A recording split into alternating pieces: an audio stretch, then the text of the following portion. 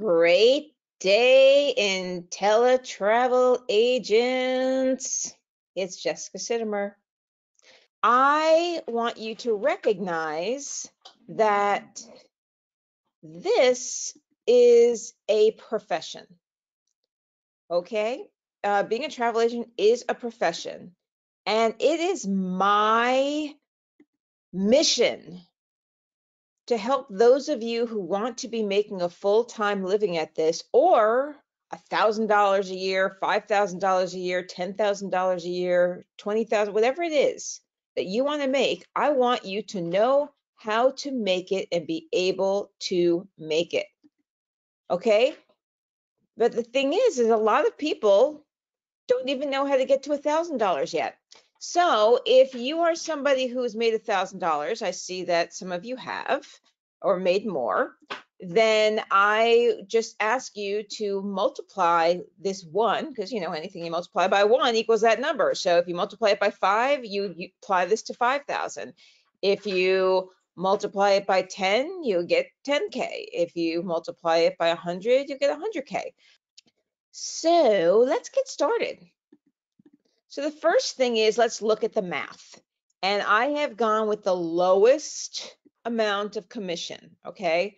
You can, I mean, some of our suppliers you make up to like 16% with. Some of our supply, I mean, when you talk about travel insurance, you make even more. But I just wanted to get really simple. Number one, because I'm not good in math. And number two, just being honest. And number two, because this way, if you are if you are doing it for 10,000, I mean for 10%, see, I even get confused talking of percents just make me nervous. I don't know. It takes me back to sixth grade with Mrs. Wagreich. She was not nice. All right, so percentages. 10% is just really easy and simple to calculate versus, you know, 12%. And for all you math geniuses out there who are cringing, going just, you know, whatever 10% is, just add another, you know, figure out what 1% of that is and then add two. I know, I want to keep it simple. So 15,000 in sales. And the reason why I have you going for 15,000, because we all know that 10% of 10,000 is a thousand, but you got to remember that InteleTravel takes 30%. So I want to make sure that you are hitting that thousand. So I'm, I'm having you shoot for 15,000 in sales and 10% of that, which as I said is low because you're usually making more than that when you're using our preferred partners, is 1500. That's what the commission would be. Then you subtract InteleTravel's 30% and there you go. 10,050. Hey, you know, if you want to send me the extra 50 bucks saying, hey, thanks making it happen, Jess, I'm just kidding. I would never. My joy is hearing you shout it out when you hit it. All right, so now that we've done the math and we see what we're going for, 15,000 minimum in sales this year, we got to make a plan.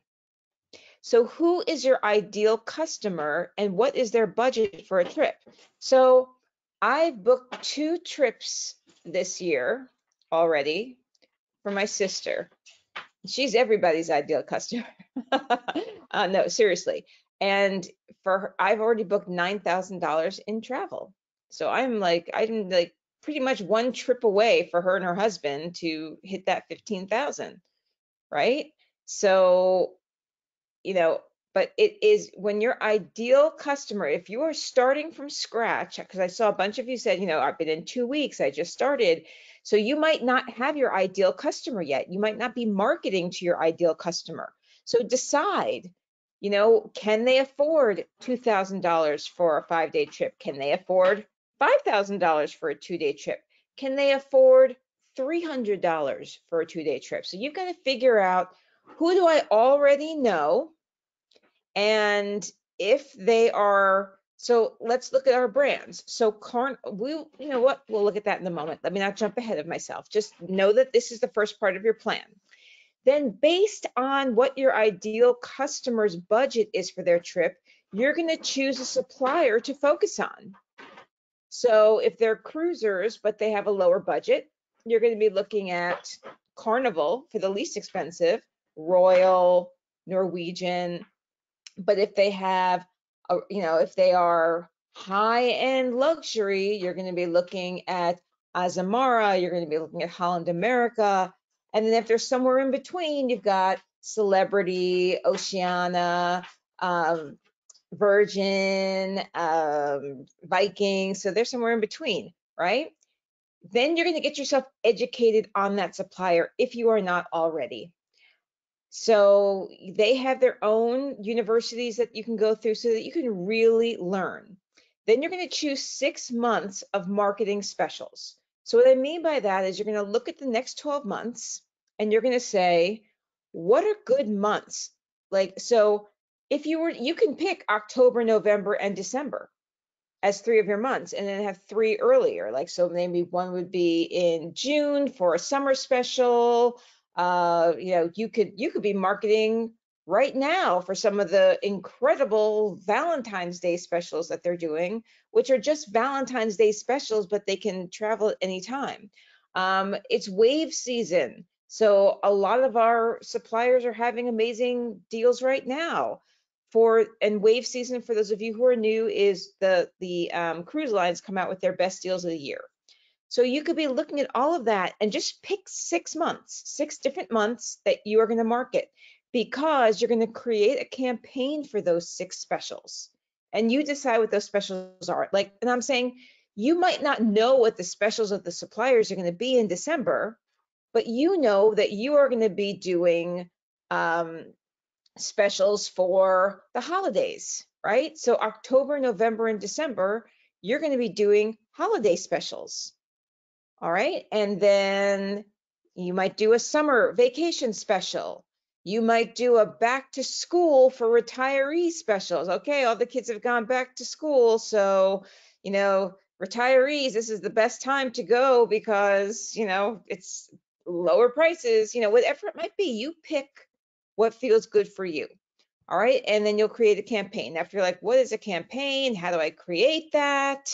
Then, you know, that's another topic which we can talk about um, in future camp in future ones. I've already talked about it. If you go back and look at um, around November or October, November, December for the live Q&As that I did in 2021, you'll see that we talked about campaigns. So let's look about, let's look and make this realistic for you. I want you to have clear perspective on what this 15,000 means. So, all right, one Caribbean cruise, and I was using who was I using in this? Was I using? I'm I'm using Norwegian in this. Okay, so um, I was using Norwegian. Right now, they have a Caribbean cruise going, and this is for selling April through August. Okay, so if I wanted to do an April Fool's campaign, I could start in March and say, "Ooh, I've got something great coming for April Fools. I got something amazing coming." Or, or this is actually selling to sale, so you could like be selling this right now. Say for all you people who want, you know, April vacations, uh, you could do a Caribbean cruise. Now, that's 38 people at $400. So who can afford $400 for a five-day cruise? I want you to think about people you know and, you know, if you don't have paper right now, this is being recorded so you can watch it again. And I want you to make your plan in the next week. So if your budget range, and remember, double this if they're if they're you know if you've got people who are in the 199 like i don't know who's going to get a cruise for 199 for five days but you know i mean i've seen some at 200 so you can do the math 15K divided by 200, and that would tell you how many people you need. All right, so this is 38 people in a year to, to sail at this rate. So if you had six campaigns that were at you know 499 during the year because you'll find when these cruises are and you you'll figure out what your campaigns are so Okay, I'm making myself do math. 38 divided by 6 is 6 and a little bit. So let's say seven people for each of your campaigns. For each of your six campaigns, seven people. Or you can do a group. You can do two groups of 20 people, right? And that would get you there. And you might be thinking, how do I get a group? Well, you find a yoga teacher who lives in Florida and wants to take a group of 20 people on a five day cruise sometime between April and August. And you know what? You know, it might not even be 20 people. Maybe she's taking 10 people on the cruise, but the women she's bringing are bringing their spouses. And maybe they've got kids. Maybe you do a Royal Caribbean and maybe kids sail free. I don't know. It depends on what's going on. But see how you can think about finding Pied Pipers. Pied Pipers are the people who are going to help you bring in the group. All right. So this is doable. This is doable. Okay. All right. Next, how to hit 15K with two Alaska cruises. And again, I'm still using Norwegian. Five day, 32 people at the 479. All right. Alaska is a bucket list trip. So you can start doing, and this is for when? This is for July. So you can say, you know, July is the most beautiful time, July through September, because this one's September, so you can catch some more over here. July through September is the most beautiful time to see Alaska. And this is a bucket list trip for people. Now, I don't want you to wait until you retire. I don't want you to wait until all the circumstances are perfect. I want you to start thinking instead of a bucket list, think of a check it list. So, who has some family members that you want to get together and experience Alaska together for less than $500 a person? You can get three families of 10 people. You know, it's like You've got three siblings and their spouses, so that's six. And this, you know, the, the three couples of six. Um, some have two teenage, two have two teenagers, so that gets us to eight. Another has two teenagers, that gets us to ten. And two of them are need to work on some kids. Maybe they could do it while they're on their on their cruise. Okay, so you just got yourself 10 people there 10 people from from from three brothers and sisters who are married and two of them have two kids. So this is the math I want you to be thinking about in your heads to see how you can do this. All right, so that is, um, and then you're going to do that for three different families. All right, maybe maybe grandma and grandpa want to treat all the families. All right, maybe grandma and grandpa have three kids who are all married and they're and they each have you know three kids so now you've got three six nine 12 13 14 15 plus grandma and grandpa is 17 all right and then maybe grandma and grandpa one of them has a sibling and they want to come along too and bring their family. And then suddenly you've got your 32 people from just one family trip. All right if your family has a little bit more of a budget, they can spend $7.99 per person. Then it only takes 19 people for seven day Alaska, Glacier Bay, Juneau, Ketchikan. All right, here we got Ketchikan and Victoria. So it's it's a little something different. And that doesn't even include everyone. That doesn't even include the excursions you're going to get for them. It doesn't include the travel insurance you're going to get for them. So Go for it. All right. I'm Doing well on time. Next, three people going to the Greek Isles, Santorini, Mykonos, Croatia. This is another bucket list trip. Seven days, 15 people at $9.99.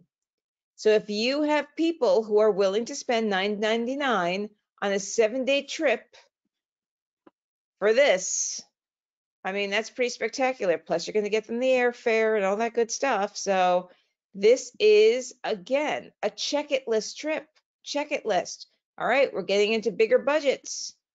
Oceania. So we're, we're now moving up in categories. We started out with this lower category like Norwegian, which is comparable to, uh, you know, like I said, uh, Carnival is going to be the least expensive, then Norwegian and and uh, Royal Caribbean. And sometimes, you know, they're all in the same, they're all in the same boat. Okay, but Oceania is now you're stepping up. now you're looking at 2099 per person or you know 3500 per person so now we're like looking at um you know like people like this is what my sister is is willing to pay my sister's willing to pay in, in this budget range okay so and you've got to imagine that there are people out there who are luxury luxury who are you know going on uh, holland america and spending even more.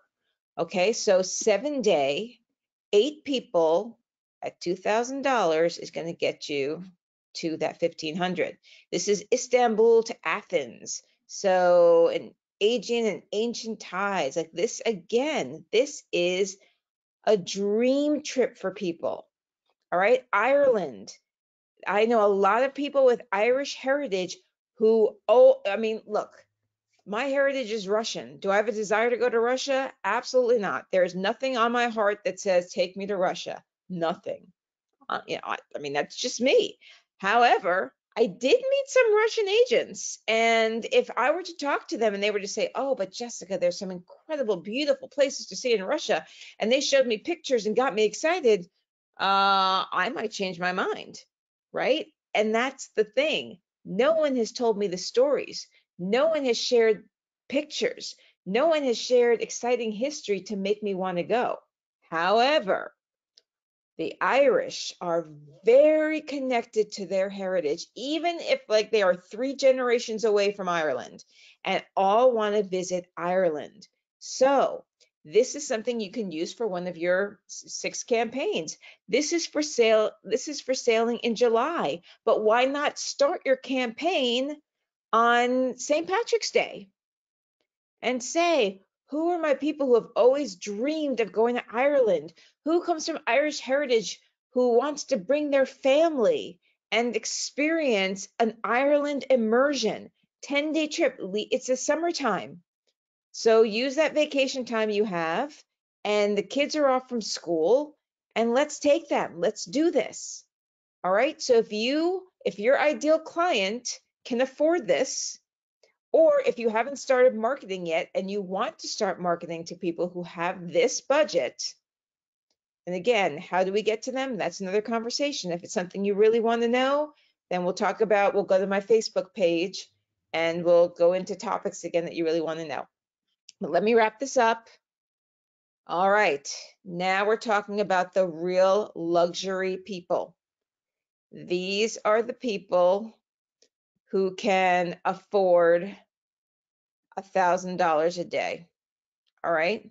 So a two week stay, I forgot to put the math on here for you, but I'll just tell you $1,100, two week stay is getting you to that $1,500. I mean, $15,000. Right. So one couple, maybe it's a honeymoon. I just stayed at LeBlanc. It is worth every penny. It is all inclusive um, except for the massages, but it is gorgeous. And because it's Mexico, you can do excursions with our excursion company.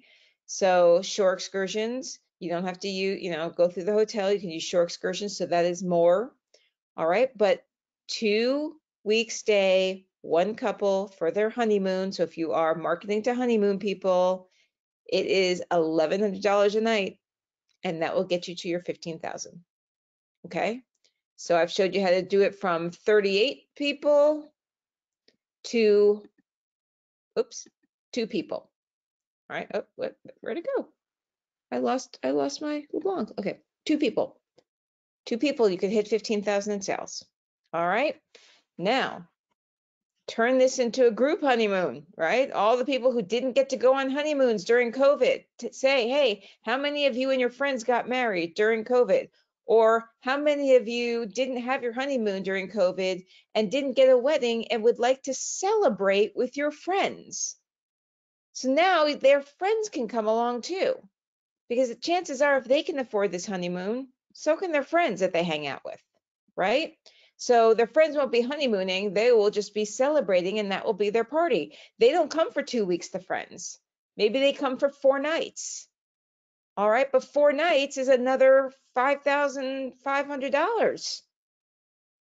And, and if they're bringing 10 people, boom, you that's just another that's another uh well 5,000 times 10 is 50,000. I don't do math in public, but I think so.